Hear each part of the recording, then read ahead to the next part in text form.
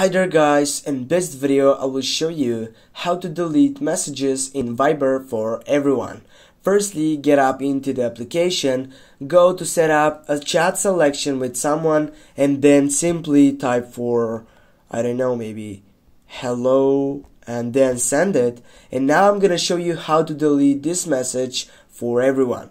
Firstly, tap and hold on that message and then go on the last selection which is delete and here you're gonna find out three options delete for myself cancel or delete for everyone go on the third selection and simply as you can see this message has been deleted for everyone Thanks for watching guys, don't forget to hit that like and share the video. If you have any questions, please comment down below in the section. See you soon and have a nice day.